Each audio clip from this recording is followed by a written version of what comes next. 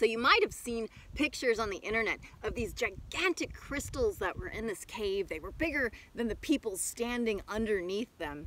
And those were crystals that were from the Naica mine in Mexico and the minerals that made up those crystals, and they are real, is the mineral we're talking about today, and that's gypsum.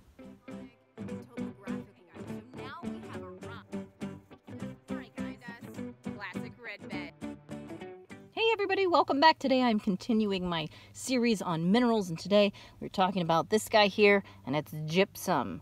Now, gypsum is considered a hydrous form of a calcium sulfate, keeping in mind that if we were talking about the non-hydrous form, we're talking about anhydrite. Gypsum comes in, as you can see here, colors like this, a whitish or even sometimes a very clear color, which we would refer to that as selenite. Actually, the Greek word means moonstone.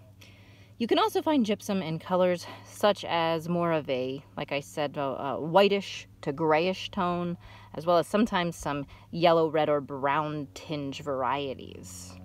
Gypsum has a luster that we can describe as vitreous or glassy, and sometimes also pearly, especially on freshly cleaved surfaces.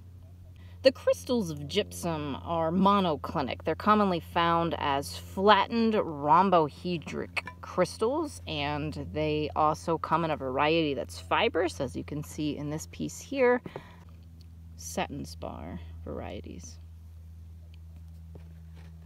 It can also come in earthy, massive, or dense granular chunks, and we would refer to those as alabaster, which is a favorite amongst artistic carvings. The hardness of gypsum is quite soft. It's about a 1.5 to 2 on the Mohs hardness scale. I can scratch gypsum with my fingernail, so it's along the lines of softness of talc and sulfur. Um, it's just a little harder than talc, and it's one of the softest minerals out there. Minerals you might think are similar to gypsum might be any that have the whitish, clearish look to them, but in the case of quartz, quartz is, quartz is much harder than gypsum. Quartz is like a 7 on the Mohs scale, so you're going to be able to distinguish it just based on the hardness alone and even the crystal form of quartz. If you find it in a certain form, it's very clear that it's not gypsum at that point.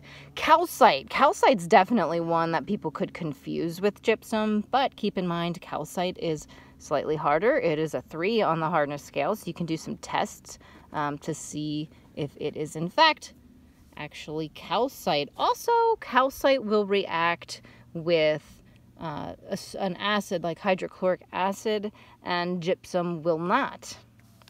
Muscovite in large platy chunks could be possibly confused. However, I found that if you mess with mica and you break it off in those in those little platy pieces, then it seems obvious that it's mica. And mica often has more of a, a different coloration, um, a discoloration to it. So between those two qualities alone, um, also mica just has that more elastic, plasticky feel to it. So you should be able to distinguish gypsum from those similar minerals just right there, or that the environments that they form in are often dissimilar. So where does gypsum form? Well, gypsum's actually a pretty common mineral. It can be found in many types of rocks, but it often occurs in sedimentary rocks where it precipitates in those chemical sedimentary rocks, uh, where beds can be as thick as 30 feet. Um, this is a nice big piece, not as thick, but still a very large piece of gypsum that I got out of a similar environment. So I actually put the video of me digging this out here. So if you want to watch that, check it out. It's available. Um, it can also form, however, in hydrothermal replacement deposits where it would be associated with barite or dolomite in that case. Some nice localities to find gypsum, well, would include that spot in Mexico where those huge crystals were found at the Naica mine in Chihuahua, Mexico. Uh, but also localities in North America might include New York, where transparent crystals are known, uh, lining cavities in dolomite. Utah has lots of gypsum, uh, lining zones in red beds. There can be large crystals, uh, selenite varieties to alabaster varieties to find there.